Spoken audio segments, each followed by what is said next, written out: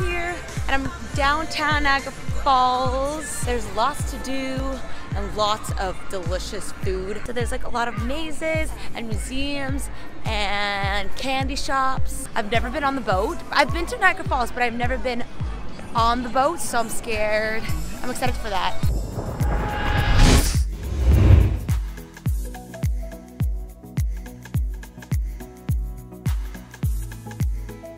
Hey guys, I'm going on the Hornblower and we're just walking down to the boat right now.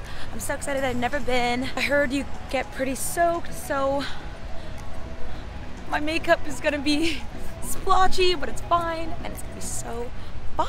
I'm so excited.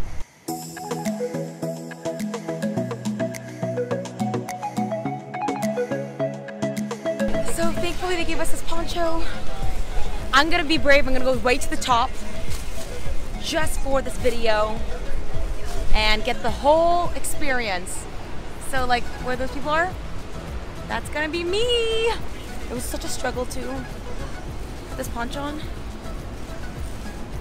Hi mom. All right, I'm on the boat. I'm gonna go right to the top so I can get all wet and be brave. Wow, that glow! But by the end of this, I'm gonna look like a drowned cat.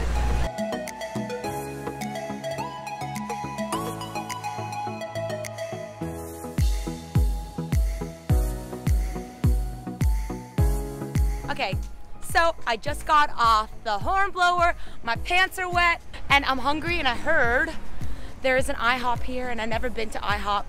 So I'm so excited to eat my heart out, okay? And this is a really cool area. We're like in a secret garden or something. Here, let me give you a tour. And the Hornblower was so fun. If you're gonna go on it, definitely wear a rain boots, raincoat, maybe some you're gonna have you're gonna get a poncho and just no makeup okay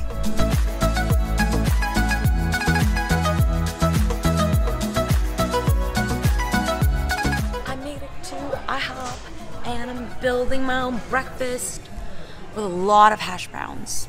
I want more. I'm still hungry. Oh this is not enough. I think we should do another build your own breakfast